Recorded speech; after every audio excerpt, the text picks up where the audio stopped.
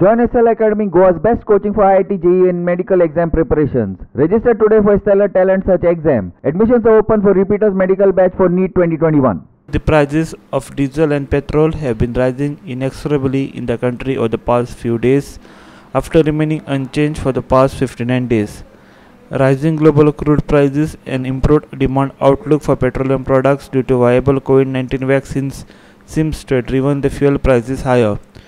The prices of diesel and petrol in Panjim currently are 79.48 and 82.56 rupees respectively.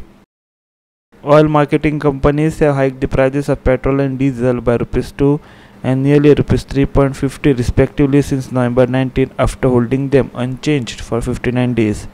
Fuel prices in major cities Delhi diesel 75.67 petrol 85.70 Mumbai diesel 82.38 petrol 92.28 Chennai diesel 80.89 petrol 88.29 Hyderabad diesel 82.51 petrol 89.15 Kolkata diesel 79.21 petrol 87.11 Goa diesel 79.48 petrol 82.56 Bureau report Goa 365